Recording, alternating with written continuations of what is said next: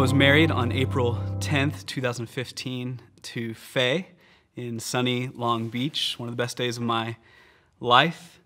And I had looked forward to this day for so long, searching, looking, waiting for love. And so this day represented for so many years, I just waited for this celebration of a love found.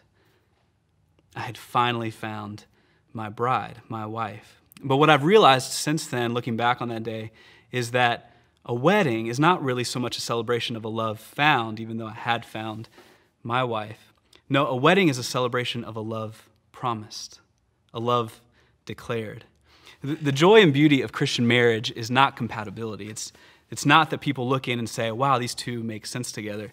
No, the beauty of Christian marriage is Christ, who shines forth as we love each other persistently, sacrificially, constantly dying to ourselves for the sake of someone else when it doesn't make any sense, when we're not compatible, when we don't deserve love from each other. Now, marriage is not a love discovered, marriage is a love declared.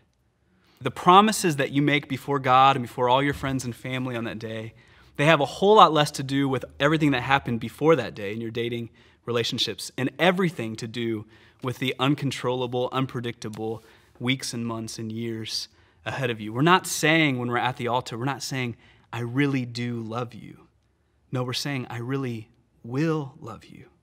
No matter how hard it gets, no matter what comes, no matter how much I want to leave, I will love you.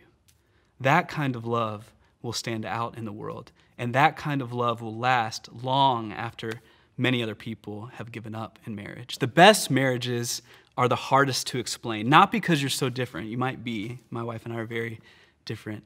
No, they're hard to explain because you're loving each other so passionately, so persistently, so sacrificially after years of conflict and inconvenience and pain. You're still there. People will ask, how do they still love each other so much? And we can say, because of Romans 5, because we've been loved like that by God. Romans 5 says, uh, while we were yet weak, while we were yet sinners, Christ died for us. Christ came and died for us, not because we were the love of his life. No, we didn't deserve his love. No, he came and died to make us the love of his life.